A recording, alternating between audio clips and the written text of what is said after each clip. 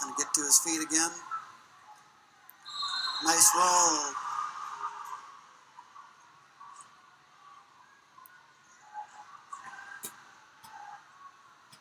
Don't know if they're going to give him any back points, but he is going to pull it back out. Gets a headlock locked up. And he gets the fall. Congratulations for Elijah.